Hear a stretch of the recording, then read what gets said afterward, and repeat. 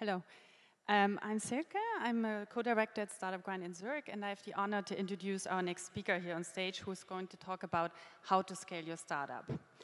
He managed to build a Scottish unicorn who aims to make sports more exciting and entertaining. So how did they do it? What made them pivot from a news predicting service into and go into daily fantasy league sports? How did they manage to go from a team of five in Edinburgh and a humble user base to become an American sports giant with 360 employees in Scotland and in the US and over 6 million registered users. They managed to overcome the rejection by over 80 investors and still managed to close a total funding of $375 million by big names such as Google Capital and um, Time Warner. So how did they do it? We soon find out. So please join me in welcoming Nigel Eccles, co-founder and CEO of FanDuel, and my colleague Alex from Startup Grind Barcelona. Thank you so much. Thank you.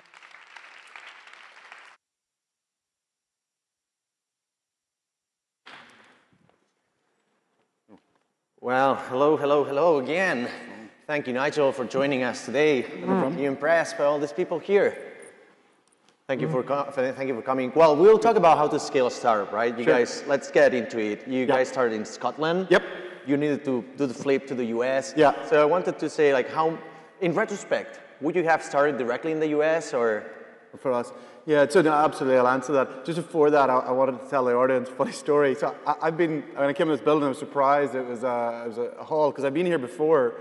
It used to be a court. Um, and so I was in court here uh, about 15 years ago. I'm just hoping today goes better than that day. but uh, no, I was just a juror, and, and, we let the guy off. It was fine. So, but back to your question. So, yes, so our company FanDuel, if you're not familiar with it, is a, a fantasy sports business. Um, and we launched in the US in 2009. We've grown incredibly quickly.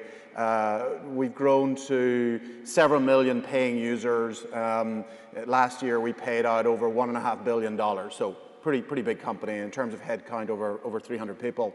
Uh, our product up until very recently was uniquely a US product. Um, even though the company was launched, and we still to this day are a Scottish headquartered, or Scottish company, although we moved our headquarters to New York in 2011. For us, it was very important to us to build a company in the UK, and particularly in Scotland. Uh, that was really important to us. In retrospect, building a US product in the UK when the US was our market almost certainly made it harder for us to do. Now, that doesn't, now, what I'm not saying is it's harder to build a, a, a company in the UK than it is in the US, but if you're building a US product, it is almost certainly easier to do it in the US. How much in terms of revenue you're getting out of Europe as opposed to what you're getting from the US? What's the distribution like? So today, like we have launched a sort of a beta product in the UK but the US North America is 99.9% of our revenue. Well, that quite explains. Yeah, they kind of why it'd be better to be there. Actually, one of the things that we have learned, or I have learned when I was doing the research to prepare for this interview, and you also have found through third parties, is that this drug wall marketing strategy, mm -hmm. right? Can you explain a little bit what that is and because you didn't seem to know about yeah. that. And yeah. how did you use it to your advantage? Uh, sure. So yeah, if you look at our Wikipedia page, somebody looked at our marketing in 2015 and and, uh, and did this analysis and said what it was, which was kind of news for us. Uh, it wasn't what we set out to do. So really, the background was as a company. Uh, we had developed a product, a fantasy sports product that uh, traditionally with fantasy sports, you pick a team and you play, you keep the same team throughout the entire season. And so you, the game lasts three, four, five months, which to us just felt unfeasibly long. Like we, for a millennial who's used to playing, you know, Zynga poker or used to playing like a, you know, social game, like five minutes is a long time. Uh, the idea that you play a game that takes like four months we thought was insane. And so we said, well, why don't we take this seasonal product and collapse it down to one day? So I pick a team, play that team today, and if I win today, I win. Next day, I pick a whole new team and play that team.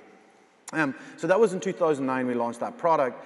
And we got, within about a year and a half, two years, we had very good product market fit. The players that discovered the product loved the product. And we started going talking to people more broadly in the market, sports fans. What we discovered was the, the people that knew about our product loved our product. The problem was the vast majority of people just didn't know about our product. So when somebody converted the product, they stuck with it. They said it was amazing. We just weren't growing fast enough. And there's, there's a fallacy that some entrepreneurs, um, particularly in tech, get stuck on is like, if you build it, they will come. Um, I, don't know if that was ever true, but it almost certainly is not true today. Um, you can build an amazing product. The, the, you know, history of innovation is littered with the best product that wasn't successful because it wasn't successfully marketed. And so what we really discovered from sort of 2011 onwards was that we needed to get very good at marketing to basically to, to explain to the people that would be target customers, particularly fantasy players, why FanDuel, why daily fantasy sports and FanDuel was better than what they played, uh, what they what they knew. And in doing that, because that was so successful, then we managed to really ramp up our marketing to to quite a significant scale. Actually, you were um, you were certified as one of the highest growing companies in the U.S., mm-hmm. and that probably was because you invested heavily in this advertisement marketing yeah. and all of that. You did it because you started off with a great amount of capital, this amount of capital. Mm-hmm. Would you have done, what would you have done if you hadn't had this capital from the get-go? Yes, so uh, we did, and uh, like uh, uh, to date, we've raised over 450 million, so we have raised a lot of money. Uh, but that was not the true at the very start. Uh, we found it very difficult to raise capital. I think our first venture round was a million dollars, mm-hmm. um, and that kept us going for about a year and a half, two years, and then the next venture round was like four million. Um, the reason we could raise money was because we used that small amount of money to prove the marketing channels to say, look, I spent 50,000, 100,000 this marketing channel. I acquired a user for $50. That user's worth $500. So if you give me 2 million, 3 million, 4 million, 10 million, 15 million, I can, I can acquire a user for, it went up slightly, but 50, 60 dollars, and that user lifetime value will retain at that high value, and so from an investor perspective, it's a clear arbitrage. Users clearly love the product. You're acquiring efficiently, and therefore let's invest. Um, and it was only once we'd really proven that, you know, were we in a position that in 2015 we raised around 300 million. But we wouldn't have been able to raise it had we not been able to prove what we could do with that first sort of one, two, and four million. And one of the things that you really nailed is actually having all these partnerships with pretty much every NHL team, NBA team. Mm-hmm. But you told me you spent almost two years without getting any deal yeah. with them, yeah. right? Once you got the first one, yeah. then the, the last ones follow, right? Yeah. How did you do it? How, how does one create partnerships with NHL teams, for instance? You know, so we, we started with zero relationships. Um, and we, uh, we, we looked at the teams as a way to build our brand and a way to legitimize the product. Um, we felt that you know, to be, we were a marginal product. Uh, fantasy sports was kind of a bit looked down upon. Um, and we felt that the only way we could become mainstream and legitimate is to partner with the teams. And so we started knocking on the doors, I don't know, maybe 2012, 2013, probably 2012, but it wasn't until 2014 that, uh, that we got an in with the Orlando Magic, which is one of the most innovative uh, NBA teams. And the NBA is in my view, the most innovative US sports league. Mm-hmm. And they were like, we think this is interesting. We think we can do this. And they had to take it all the way to the league to say, we think this is good for sports. We want to work with these guys. And that was a multi month process. We got to the end of that. We got a deal with them. When that was announced, we not only got the deal, but we also changed the league policy towards the category. And then suddenly, you know, there's 29 other NBA teams. And so suddenly, uh, we were, went from the position of you know, knocking on doors and getting nowhere to suddenly we went from, we went from one team in the summer of 2014 to uh, 30 teams by the summer of uh, 2015. So one, we, from two years to one team, and then from one to 30 took one year. That's amazing. Actually, I, I wanted to ask, what was your value proposition for these teams? What could mm-hmm. FanDuel bring to them? Yeah, so like one of the big ones was around driving engagement in sports. Uh, sports is, is, an engagement business. They, uh, what they are there for is they want to put an amazing show, you know, on on the court, uh, on the field, and they want people to be really engaged in that. And what uh, particularly the NFL discovered was that fantasy sports is an amazing way of driving engagement. There's so many people will say to you, say, yeah, I would never watch the Jags or the Jets, but I have that quarterback. And so suddenly they're watching that game NBA was somewhat left behind in that because fantasy basketball hadn't taken off. And so they were like, look, we want to help these guys and we want to really build fantasy basketball so that we get the same benefit. So even if somebody's not a fan of, say, the Magic, you know, if they've got uh, Oladipo or Vucevic, then they would be they would follow that team because they, they have that player. And actually, likewise, on a related note, uh, you had to deal with a lot of different teams who have got a different perspectives or even cultures and everything. But you had you faced the same problem when you expanded all around the states because all the states are different. They have Yeah. different legislations Yeah. concerning your field, your specific Yeah. field. How did you deal with that, and what was the most problematic one, for instance? Yeah, so um, you know, I- like the U.S. is a, an amazing market. It is a market of 400 million people. It is generally very homogeneous, um, certainly compared to Europe. You don't have the same language barriers, but uh, for certain products, and ours is one of them. Um, state law is much more important than federal law. Um, and so we really are regulated at a state level. And even when in the early days, we only operated in 45 US states. It was five that our lawyers felt the laws weren't, uh, they weren't as clear enough as we would like in order to operate there.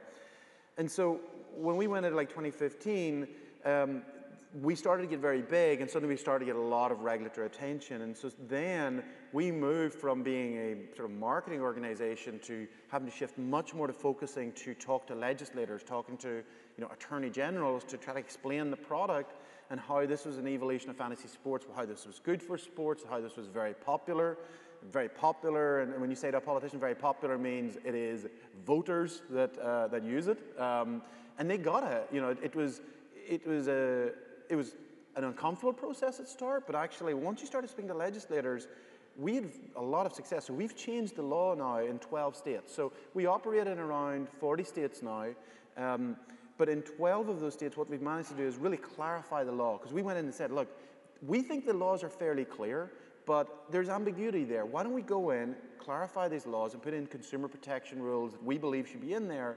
And so we've actually gone out and found legislators who actually say, yeah, we get it. We see this is really popular. We see these laws are why they'd be important. And if the industry is supportive of it, we've managed to change the laws. And that, that's, that's like employing like a national lobbying group, but actually going yourself to, like I was in Springfield two weeks ago, which is the capital, state capital of Illinois. You know, I've been in, you know, Albany, I've been in uh, Sacramento, Richmond. You know, these are all the state capitals that if your product is regulated at a state basis, you will get familiar with.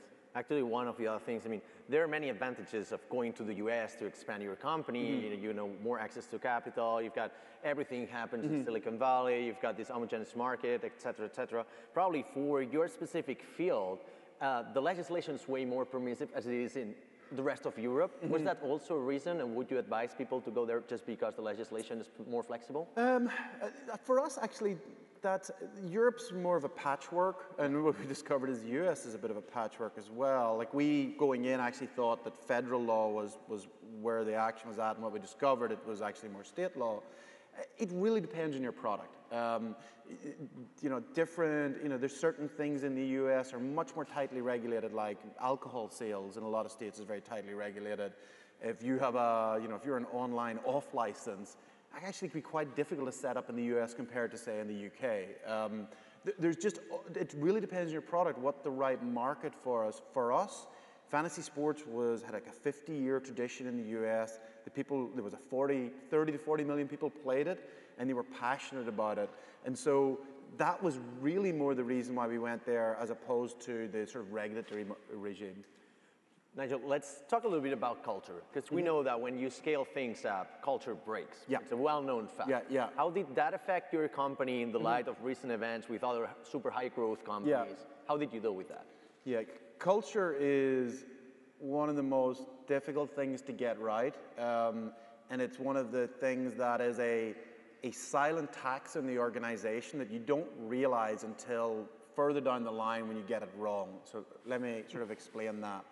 Um, one of my advisors uh, actually said to me during you know some of the more challenging periods of our company, and I was having to make some difficult decisions, and you know particularly around somebody who was a performer but wasn't a cultural fit.